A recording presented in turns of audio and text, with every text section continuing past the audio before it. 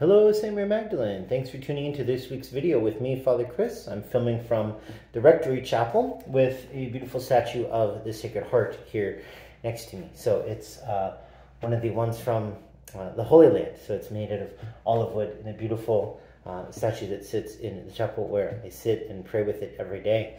And how beautiful then to be able to be with you on this Feast of the Sacred Heart.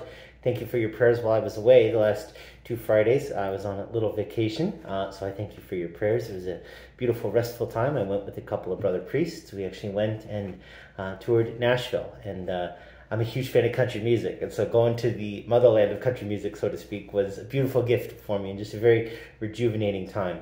Uh, and yes, I did have a bunch of Nashville hot chicken, and it was delicious. But the Feast of the Sacred Heart, a beautiful feast, a beautiful opportunity for us to reflect upon God's love and how it's made manifest. And it's so perfect, it's so pure, it's so good. It can oftentimes be overwhelming.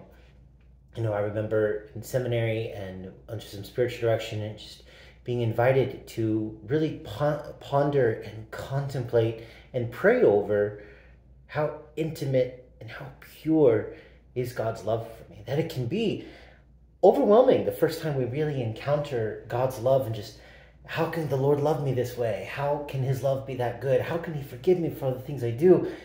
How in the world can I be loved this much? Those are beautiful and powerful questions and good questions to reflect on and pray over. And it's true. It's true. We are loved that deeply, that perfectly, that intimately. And that's what the Sacred Heart is this beautiful feast, this opportunity to reflect and to truly see his heart is willing to be pierced and give everything for you and for me, for us. What a beautiful gift. It's so contrary, though, to what we experience more often than not on a daily basis in our fallen, broken world with, with without a proper understanding of what genuine, authentic love looks like. And so, how beautiful then that the church gives us this opportunity, this day of the Sacred Heart, to see what perfect love looks like. Him. He is perfect love. He loves you perfectly, and He loves me perfectly. Tomorrow, then, to Saturday, we have the Immaculate Heart of Mary. And what does the perfect love of a disciple look like, you know, Christ gives himself, pours himself out for us. And Mary receives that and offers herself back. And she is the disciple par excellence, the model of the church and the discipleship. And so we pray then that on this feast of the Sacred Heart, we may receive God's love and allow it to imbue and fill our own hearts, minds, and souls. And then with the Immaculate Heart coupled with that, that we then may return an act of love through Our Lady's intercession and through the power of God's grace and our love for Him, but that we may offer ourselves back in a beautiful Marian fashion. So, two powerhouse feasts to celebrate the Sacred Heart and the Immaculate Heart, but both reminders for us that we are loved beyond imagining, beyond anything we can understand or experience or comprehend.